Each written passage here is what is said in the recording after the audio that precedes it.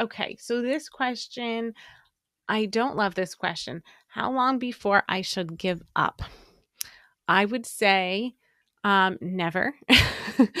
That's my um you know, I understand what they're saying though, right? So how long before I give up on, you know, maybe a certain food? You know, okay, I've tried I've tried chicken 400 times and they're just they just don't like it, you know.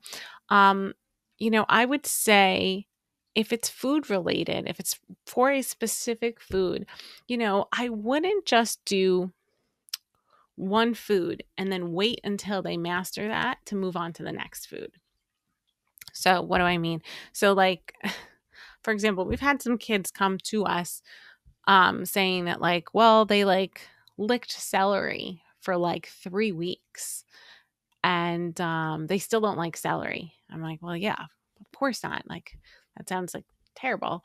But the point is, I wouldn't just work on that one food like i think we we really want to do a variety so i would never just say never come back to chicken right let's just say chicken's what you're talking about you're trying to get them to eat chicken i wouldn't say never come back to chicken i would say pause chicken do a bunch of other things and then reintroduce chicken another time weeks or maybe even months later you don't have to stick with one food and then wait until they like that food to move on to the next. I think that's like a some sort of a um preconceived notion that people have like well these are the foods that i want them to master and we're going to work on these foods until they're mastered and then we're going to introduce new foods. But that is just not our approach at all when we do feeding therapy. We work on a lot of different foods.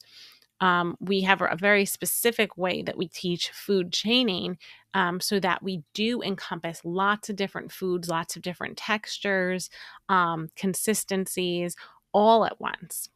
Um, so, if you do want to learn more about that, we have a whole module in our Picky Plate to Clean Slate course specifically to teach you how to do that food chaining approach.